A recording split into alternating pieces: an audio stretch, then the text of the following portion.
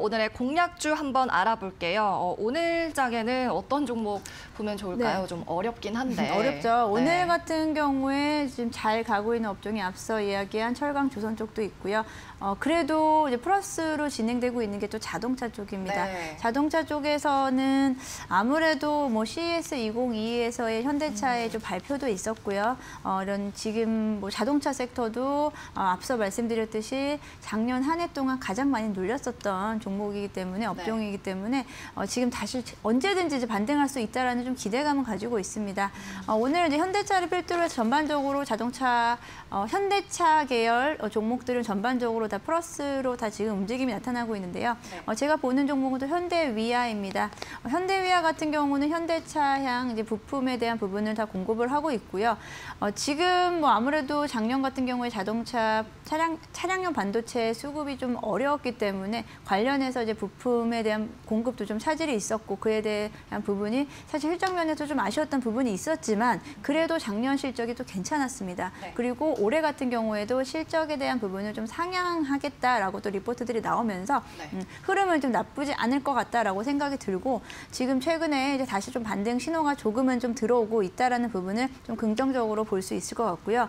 어, 현대차가 일단 잘 가요. 현대 위아라든지 현대 계열사들, 현대 오토에버 어, 전반적으로 만도라든지 전반적인 종목들이 다 같이 올라올 수 있는데요. 어, 그 중에서 이제 현대오토 에버 같은 경우는 어, 자율주행이라든지 소프트웨어 관련 쪽이 담당을 하고 있는데 어, 주가가 지금 꽤 많이 다시 회복을 했습니다. 하지만 현대위아 같은 경우는 아직도 이제 상승할 수 있는 폭이 충분히 남아 있다라고 봤을 때 어, 지금 최근에 덜 오른 종목들 중에서 현대위아를 좀 가져왔고요. 현대위아 같은 경우에는 매출액 비중에서 어, 약 90%는 이제 역, 역시나 이제 저, 어, 부품 주력인 부품을 담당하고 있고 약 10%는 이제 기계 쪽을 좀 담당하고 있는데요. 아무래도 자동차 업계에서 가장 지금 주목하는 것은 빠르게 전기차로의 전환이고요. 그러기 위해서는 아무래도 생- 생산 설비라든지 그런 부분에서 전환을 빠르게 시켜야 되는데 그 부분에 대한 수요가 또 나오지 않을까. 그러면 어, 기존의 부품 쪽에 대한 수요도 견조하고 그리고 어, 이제 조금은 비중은 작지만 기계 쪽에 대한 기계 부분에 대한 실적 또한 또 개선될 수 있을 거다라는 가치 기대감, 동반 기대감이 나오면서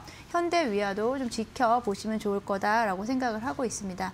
어, 현대위아 같은 경우에는요, 오늘 장 초반에는 어, 사실 한 4%까지 좀 상승을 했다가 상승폭을 조금 반납을 했지만 약간 8만 천 원대에서 어, 매수 공략해 보시면 8만 원 초반대에서 매수 공략해 보시면 좋을 것 같고요.